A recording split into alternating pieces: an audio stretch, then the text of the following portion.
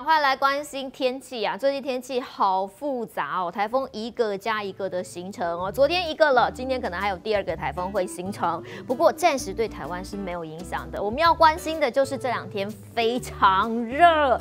昨天高雄见上看三十八度，而且从昨天半夜到今天清晨，整个西半部地区都是二十八、二十九度，整个晚上都非常的热。今天白天持续有高温预警灯号，包括橘色灯号的新竹地区还是。有机会上看三十六度，还有黄色灯号的桃园跟嘉义也都是三十五、三十六哈。西半部地区基本款都是三十四度起跳的哈。西半部非常的炎热，而且可能还会热个两天左右，提醒大家防晒、防中暑。那当然，赶快来关心这个到底后面的台风动态是怎么样的？来看看卫星云图，前面昨天形成的轻度台风山神，现在一路往西要去中南半岛了哈。所以呢，这两天如果你有安排旅程啊。洽工啊，要到中南半岛的观众朋友稍微注意一下，对于台湾本身的天气没有影响，但是后面菲律宾东边这个热带性低气压，你看我叫它准安比，为什么呢？因为它再涨一涨啊，有机会最快在今天就会进一步的形成十号的台风安比了，所以我们就叫它准安比吧，这样比较好形容哈。那这个准安比呢，目前看起来还是一大坨的云系，当然我提到逐渐的有这个规模之后呢，就有机会形成轻度台风，那后续。目前看起来它还没什么移动啦，但即将会往北的方向逐渐来到台湾的东部海面，然后呢再往西的方向偏。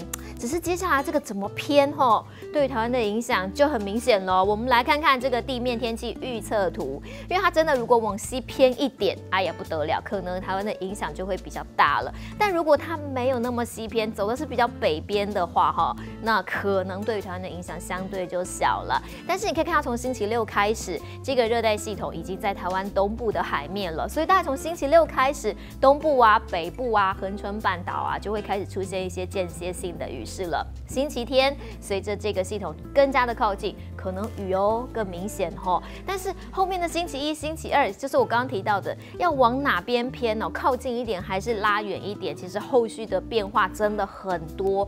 它现在两个变数，第一个就是今天或者什或是什么时候它才会变成一个台风？那还有就是后续看看这个太平洋高气压东退的程度，有没有可能让热带性低气压可以这个离我们远一点？后面这个台风。系统离我们远一点，所以呢，嗯，总之，星期六、星期天看起来对于台湾天气是有影响的。所以，如果你有安排周末的户外活动的行程的话，务必注意台风的动态，好，那当然希望它偏远一点。我们后续持续观察，因为现在各国看起来模式都不太一样，哈。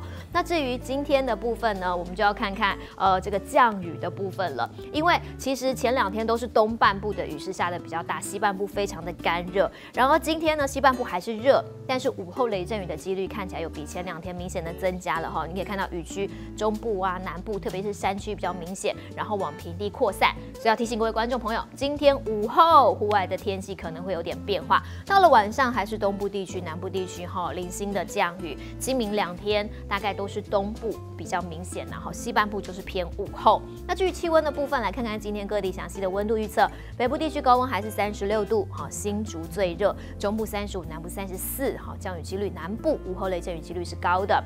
东半部的间歇雨，各地带百分之四十到五十的降雨机会，时晴时雨的情况，高温就没有西半部怎么样的高。外岛三个地方，通通都是晴朗的好天气。说到晴朗，就来看紫外线。来，今天全台各地大概都是过量级，新竹还有危险级，澎湖也有危险级。哈，今明两天，呃，基本上天气在比较相对稳定的情况底下，请大家务必做好防晒工作。还有一个天气重点要来关心的是，除了热之外，西半部还有一些地方空气品质很差，中部地区。哈，因为东风过山沉降之后，所有脏空气都堆积在中部地区，然后它没有办法扩散，基本上没有风，所以悬浮为例，哈的指标相当的高。苗栗三亿中部地区今天是橘色提醒，事实上昨天一度还有到红警，所以今天还是要提醒整个中部地区的观众朋友，务必要留意空气品质，特别是 B M 二点五这悬浮细悬浮为例的伤害。哈，口罩还是要记得戴一下了。两个重点，今明两天防晒、补水、防中暑，戴口罩。第二个重点就是周末。可能会有台风的影响，哈，程度如何？我们这两天持续的观察，提醒你一定要持续的关心台风动态喽。